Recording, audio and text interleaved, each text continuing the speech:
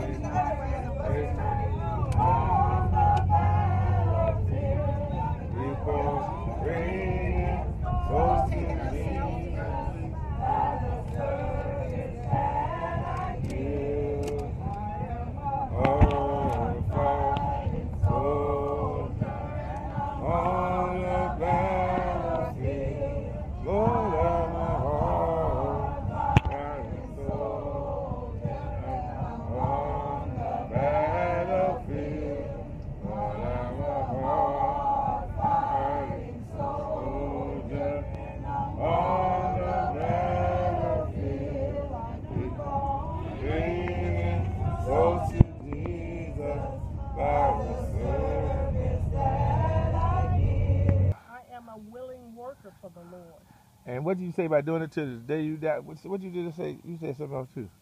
I'm planning on just making this my work, crusade for Christ, until I leave here or until help stops. And y'all retired from y'all jobs? I'm retired. I'm a retired banker from Commerce Bank in Kansas City, Missouri. And what you where you working? I am a hairstylist, have my own business. And we are sisters in Christ and blood. We are blood sisters. So, so you, what's your job? I'm, I'm just a lowly servant. Right now, I'm uh, the, the bus captain. So I organize the route, make sure they have enough water, they have enough flyers. And, uh, what church you go to normally? What church? I'm from West Lawn Street Church of Christ. And what does it mean to see people from all over the country come to, to San Antonio? It's very encouraging. I, I didn't even know people outside of San Antonio existed that, that, that are living the word and knew that know the truth. It's just so encouraging that the whole that the whole United States there are Christians out there. What's your name? Edmund Trevino. And it brings blacks and whites together and Latino to bring them. It just goes to show that God God knew that from the beginning Gentiles would be involved in, in, in total salvation.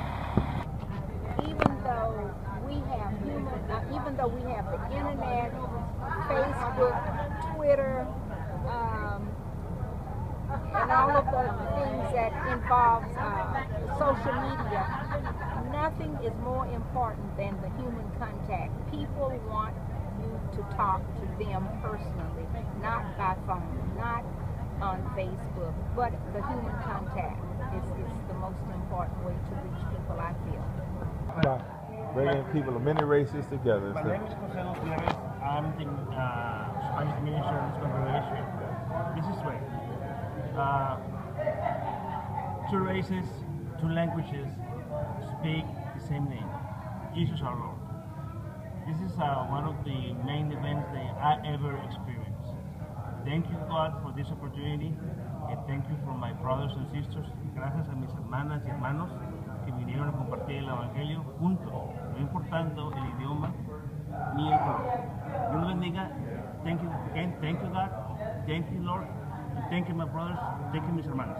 God bless you. We had some who just uh, come in from Detroit, Michigan, and we just left dialysis.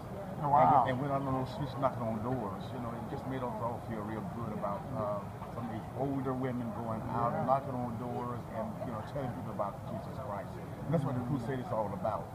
Matter of fact, we had some people who were baptized in Detroit, Michigan years ago who are still with the crusade and they're right down here right wow. now. And what do you think about it too, bro? Over I just think it's tremendous commitment. It shows the resilience of the body of Christ to do the will of God in spite of circumstances.